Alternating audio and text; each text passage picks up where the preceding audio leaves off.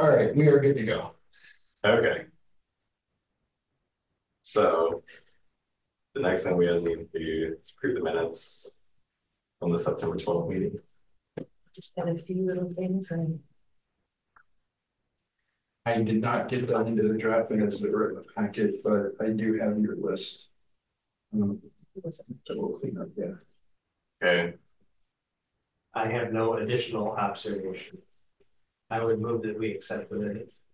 second. all those in favor? Aye. Aye.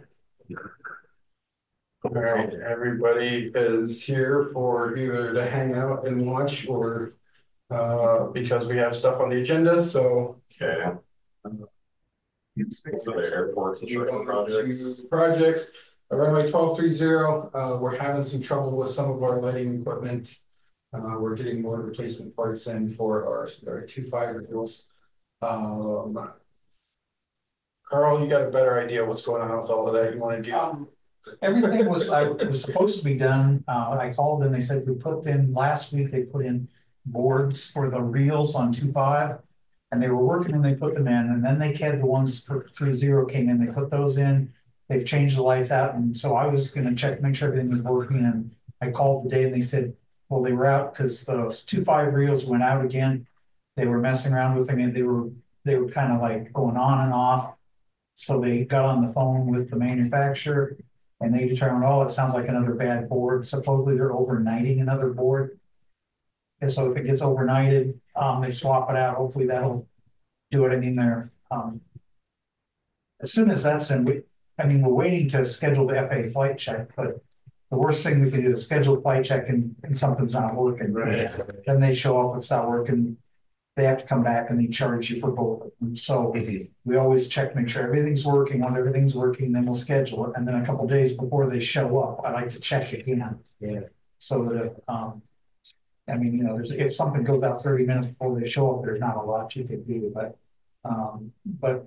Uh, we're, we've, we've told the, Chris has been working with FA and they say, are you ready for the flight check? He goes, I'll let you know, he calls me and says. Is everything working? I says, I'll let you know today, you know today, and then I talked to the electrician, one other board went out. "Oh." Yeah. Um, but, uh, I'm gonna check for like a few of the grading issues of on some and some of those, and al- also you see a little backhoe out there. We are putting one of those two metal signs where the runway run the sections, we're putting lighted signs, Right. so you will see them out there. Um. They're going to try to work back away so they can minimize any impacts in operations. Uh, and I know we're working on it and. uh, So they're gonna get uh, get all the, the concrete work done and the wiring done. And then as soon as the signs are supposedly just a couple weeks out, and as soon as they show up on Mount, we do not need the signs to get that FAA check, that's extra, so.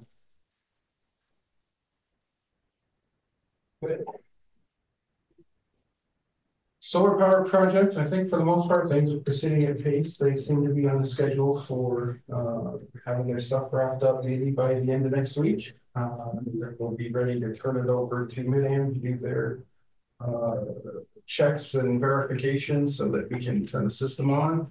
Um, Charles, did you have anything you wanted to throw into it? No, that sums it up. I have a question. Yep. I didn't know we could advertise for companies. Like the signs that say the solar stuff around, It's, is that legal for us to be advertising? it's, uh, it's a gray area. Okay. Um, no, we, we talked to, we talked to, uh, uh. NDS and the, the permit office, and because we're a public zoned entity. Um, we're, A different thing. yeah, it's just. And the city different. doesn't mind us doing that. Not, not on a, li- not on a, Unofficially. not on a limited, unofficial, li- but it's like, it's a limited thing. Okay, Um, it's not I good. did just, I was surprised to see it. No, I, yeah, it's, Okay. it's, uh. It's always, it's always been a weird thing for the airport and signage and construction activity, so. It's probably not a bad thing in this case from the standpoint of the solar project is something the airport wants to promote that they're doing. Yeah, no, it's, it's, Yeah, it's no, not a bad thing, No, but it's, it's, it's good. yeah, I the, just- the way the zoning and the, have an advertising policy. I yeah. mean, I you're did- not wanna make wrong about that. I guess I didn't, yeah, I didn't notice, right? Okay, Yeah, but it's kind of, it's kind of the same gray area when certain, or Op- the Optimist Club uh, hangs the, the bre- the Okay, breakfast banners, it's. Okay, Any other place that wouldn't get done. Do we know how long Mid-America will take to? Uh, they believe they have like two weeks, if I'm not mistaken. Yeah, they good. It took like six weeks when you stuff solar. because Waiting for them to start accepting electricity from you, so I. yeah, There's a few steps to jump through, but once they kind of get to the final step, it's about a two-week process. Okay, it's not. Um, we are also looking at approximately November fourteenth for a ribbon cutting ceremony. We kind of wanted to get through that mid-am process to where the system was on and operational. Uh, Shannon McMahon with the city communications and Sarah Gardner, the climate action coordinator. Uh, with the city are helping me plan that. They're actually taking control of planning that for me.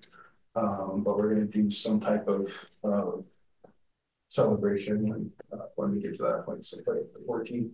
And it's an airport commission meeting day already, um, but, uh, put, you know, put that in your calendars and and we're gonna invite pretty much everybody that's been involved, the legislators and council and everybody you would expect for something like that. newspaper. Yeah, newspapers, yeah, um, Very good. so, yep. Terminal building, we're still waiting for the FAA to announce any type of awards, but they're just talking with Travis and Carl and. Uh, folks that are in the industry. We're not sure what the holdup is, like, they moved everything up, they moved the, the application process up, we thought, you know, there was, there was. Anticipation within the industry that they did it because election season, they wanted to do the announcements at the beginning of the fiscal year in October. Well, we're in the middle of October now and still it's been quiet, so, um. You know, it's kind of. Kind of. Hamstringing us for everything else that we got planned too, so. with the.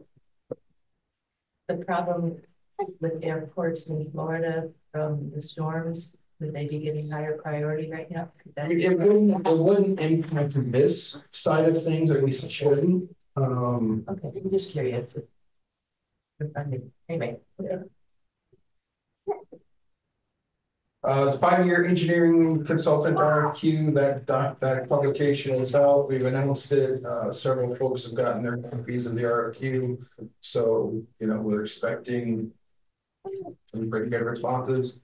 Uh, you know, as we talked about last month, uh, if we get more than three or four, we'll probably do a, uh, preliminary review and, uh, first round weed out and then forward. Um, you know, three or four finalists up to the commission for their use and I'll let you guys run from there. Uh, FAA AIP pre-application, that one's just in there, it's kind of, the call letter went out, so just a, a little bit of an awareness of the schedule. Um, I've actually forgotten the dates already, but typically November, first, first Thanksgiving, we have to have a draft into the FAA and. They, and they kind of review it and give comments back, and then in December, we submit a final formal version. Um, IDOT, uh, IDOT grants. Uh, we still, still don't have any open grants. Uh, Again, application process is gonna be next April-ish. Uh, I think right now it's, it, again, it's one of those things, it's, uh, depends on how the pendulum swings for the terminal building. Um, what we start targeting for, uh, funding, whether that's uh, HVAC or other stuff, because we have terminal uh, money or, or, so. We do have. Certainly a, a nice list of, of things you have to do with, with money. Um, airport operations, um, the big thing tonight is our budget prep. And our budget submittal for, fiscal year twenty-six. We did have, I did have in the packet a, um budget that uh, Ryan and Chris and I had worked on and, and uh, agreed to, and then in the interim week or so. Uh, because we're also approaching the deadline to get the other departments have uh, gotten some numbers updated. And I've also been able to confirm numbers with our risk management, so our insurance numbers are accurate. We don't have the surprise that we did last year. Um, Uh, so right now, the budget we're presenting or that I'm presenting is. Uh, I mean, it's still a status quo budget. It doesn't really change anything for what we've been operating. But with the uh, rental increases and with the food solar increases, we are projecting a. Uh, approximately twenty thousand five hundred uh surplus. So I got us to, to the point where we have a two in front of that, that number, which makes me a little bit happier. Um. So it doesn't mean we have, like, I mean, that's, again, picking us up from where we've been in the last couple of years. Um, I mean, I talked about a couple of months ago how we were, you know, thirty, forty thousand over budget because of stuff that was breaking. Um. Uh, does capture more of that, it's still if we get that level of stuff, which we shouldn't, gate operators and other things that. Should be one-time fees every twenty years. Um. But if we do have a, a bad year, it's still gonna hurt us, but we do have. um, More maintenance money, uh, covered in there, and then with the surplus, we can start building up that cash balance again. Um, All right, so, yeah, Um, so with that, um. If everybody's okay with the submittal, what I would ask for is a motion to submit, uh, based on what was presented. And I will do that, and I have to do that by the, basically the end of the day on Friday, uh, because they do lock the system, uh, Monday morning. Can I make a motion or the? No. I make a motion for the FY twenty-six budget. Second. okay. Oh, roll call? All in favor. All in favor. That's a motion. Aye. Aye. Uh, T hanger lease language, I'm researching a couple of things that. Um, just to make sure we're not violating any other FAA obli- grant obligations or, uh, uh, based on the conversation we had last month, but. Um, I think we probably will have something for you at the next meeting. Uh, just to review and make sure we're, we're comfortable with, and then we'll send that out to the tenants and invite comments and. Uh, before we do a formal approval. I'm Try, I'm also trying to time it so we don't have all of that coming at us in December with where we're trying to do the reviews and, um.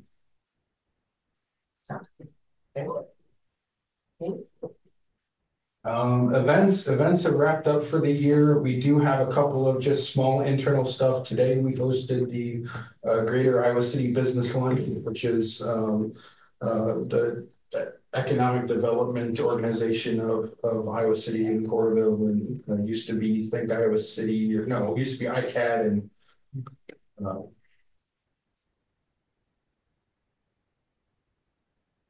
something else. I can't, my brain's mush. Um, but a couple of organizations merged. They, they created the Greater Iowa City, uh, Business Leader Leadership Group and, uh, had, I don't know, about twenty-five people or so come out for lunch. Uh, took a quick tour of the airport, got over to OPL, showed them what OPL does. Um, all in all, went pretty well. Uh, this first week in November, we're hosting the uh, community leadership program class, which, uh, that'll be the economic development day, which, uh, they come onto the airport and learn why, how the airport is valuable to economic development and, the things we do to help encourage, uh, that stuff. So that's, uh, gonna happen. And that's, uh, outside of that, uh, next year we'll start the cycle over with, uh, Young Eagles and pancake breakfast and hopefully driving Louis with Summer of the Arts and, yeah. With these business groups and stuff visiting the airport, is there any way we can potentially tap into those organizations if we need their support for, you know, new terminal, uh, Mike did a really good job of talking about kind of the initiatives and talking about terminal. I mean, I, I don't get the impression that they're the, the kind of group that would necessarily be wanting to donate funds or something like that into it, but I think definitely support. And I, you know, I think we, as a. Support commission, letters. we need to Support letters continue to Think about what we can do to boost airport income and is, is there some kind of appropriate commercial activity that we could make use of? You know what I'm gonna say. Yeah. But, um, yeah. It's something for us to continue to keep in mind. Uh, and that takes us to FBO flight training, jet air, Matt. Um, I don't have anything super urgent or important or planned. We got our zero turn mower was broke for a while, but it's back, so we were able to get the mowing kind of caught up again. Um, probably for the last time of the year, I don't know, we'll see. Um, uh, one of our employees, uh, Dean, just got his CDL today, which is good. That'll help for um, having addition because we, in order to get our plow trucks to get gas, they have to have it to plow snow, but in order to go on the road and get gas, I have to have a CDL. So anyways, he got that, so that's another person that can help us, um, for the winter, um. But other than that, nothing on the maintenance side of things, as far as an update, you know, participated when Mike did this tour thing, that was a really good thing, um. Next week is the NBAA, the National Business Aviation Association, um, and Iowa City does have, so, um. Jet Air has a booth there through our fuel supplier, so Titan is the branded fuel supplier for, um. Jet Air gives us a booth every year, so we're part, we're within their booth, but most of that advertising, have giveaways and stuff like that. It advertises all of Jet Air's locations, so Iowa City is one of those, so that'll be, um, one event, and we all, and that's surprising, you know, you get people who walk up from flight departments, and different things to visit the area. Um, so that's good, but on that, have anything else for the Jet Air side, unless there's any questions. Right. Cool. Yeah, cool. All right, um, Commissioner members reports. Is that's it. Is no, uh, they've acknowledged they got the letter and that's all the last I heard. okay. Just wound that out of rest. I need a, we need a, we need a success story. Yeah, Uh, Okay, staff report. I don't have anything. I uh have had a couple of extra meetings with the Iowa Public Airports Association. We're putting together our legislative priorities for uh airports across the state. Um, so there's been a couple of extra just Zoom phone call meetings uh for that, but otherwise. Um. Yeah, I don't think I have anything. Until Christmas vacation, presumably. Next meeting, November fourteenth. Regular, six p.m. I should be able I, to. that, I plan to be here. Yep. Hopefully you'll be here. Okay, make a motion, we adjourn. Second. All in favor? Aye.